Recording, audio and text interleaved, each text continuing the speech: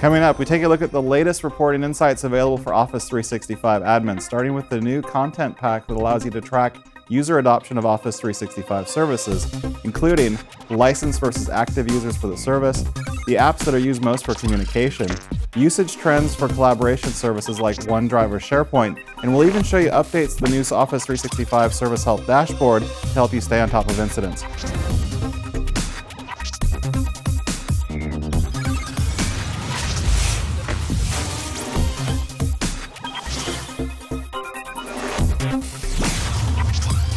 I'm joined once again by Anna Michels from the Office 365 team. Welcome. Thank you. It's great to be on the show again. So last time you joined us, uh, the new Office 365 Admin Center just reached general availability, and today we're actually announcing the highly anticipated adoption content pack for Power BI that's available for customers as well. Yes, we are really excited about the content pack. The usage reports in the Admin Center, which we looked at in the last show, they are a good starting point for admins to understand how their end users are using the individual services within Office 365.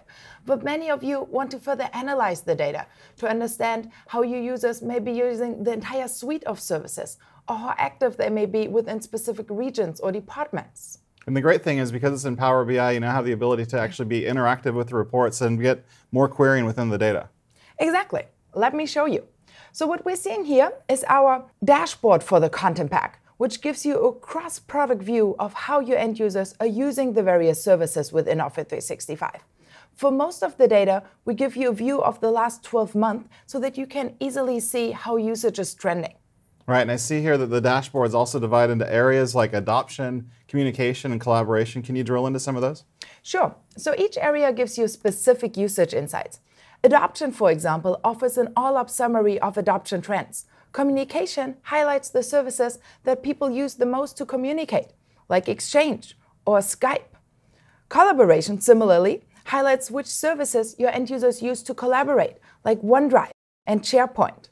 By clicking into any of the tiles, I can get deeper information.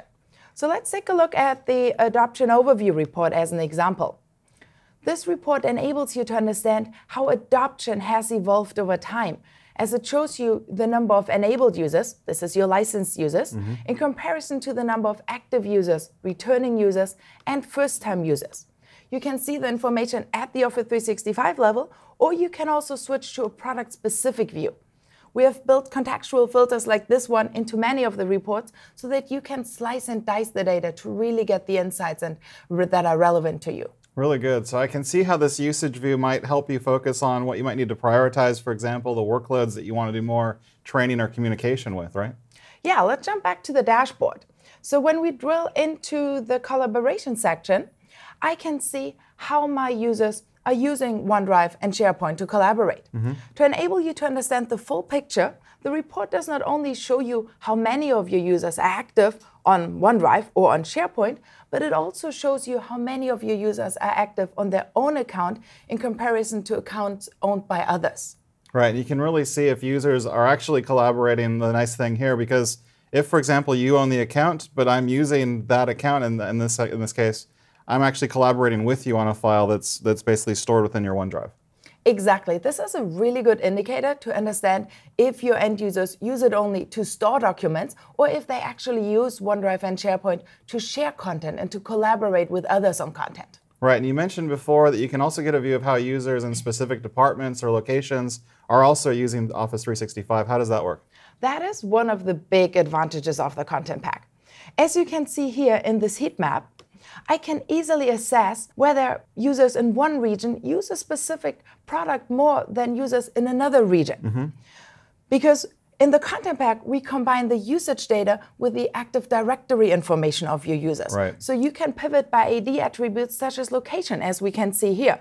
And in other reports, we are also bringing in information about department or organization. So as long as your information in AD is up to date, you can get some really great insights. Very cool. And because it's Power BI, one of the great things is you can also share things out. So for example, in the uh, other reporting we have within the admin console, you might not want to give admin permissions to other people in the org, but now, because the reports are just in Power BI, you can share them to anybody in the Azure Active Directory. Exactly. Directly here from the dashboard, I can easily share all these insights with anybody within my organization using the sharing capabilities that we have in Power BI. And are there things I can do then to customize these reports or build my own reports within here? So there are a few ways how you can customize the reports. On the one hand, you can take one of the reports, one of the visuals that we have built, and modify it. For example, here in our adoption overview report, if you don't want to see returning users or first time users, you can simply remove that information and delete it from the chart. You can also create your own visuals, or if you're using Power BI Desktop, you can also bring in your own data sources. Really great to see. But before we go further, I bet people are wondering how do I get this all wired up and running in my own tenant? So the first thing you need to do is to instantiate the content pack from the Office 365 Admin Center. You first need to enable it on the Services and Add-ins page in the Report section. Afterwards, you will see a new card from where you can start the data preparation, which normally takes between 2 and 48 hours, depending on the size of your tenant. Right. In our case here today, I've already taken care of that, well, to save us some time here. So I am already seeing the button here, which takes me directly to the content pack. So this really augments some of the things that we saw last time with the usage reports in the admin console. But another thing that we've also worked on recently is the Office 365 Service Health Dashboard. And that's also in general availability. Can you give us a look at the, the new Service Health Dashboard? Sure. So the new Service Health Dashboard gives you more personalized and more actionable insights for service incidents that may be affecting your tenant. Mm-hmm. So when you come to the new Service Health Dashboard, you will see that it features a new view that separates major business critical outages from others and splits them into two categories incidents and advisories. This new view makes it easier for you to identify those business critical incidents that you may want to act on right away. That's really helpful. Can you get more information then underneath any specific incident? Yes, we also have a new summary view, which surfaces all the business critical and relevant details, quick and easy to consume. And for Exchange Online related incidents, we now also show you the number of impacted users. And you can, of course, expect us to extend this capability to further workloads over time. Great. So I'll know then if my boss or my peers are affected. And is there anything further then that we can share in terms of what we're doing for admins to make Office 365 better?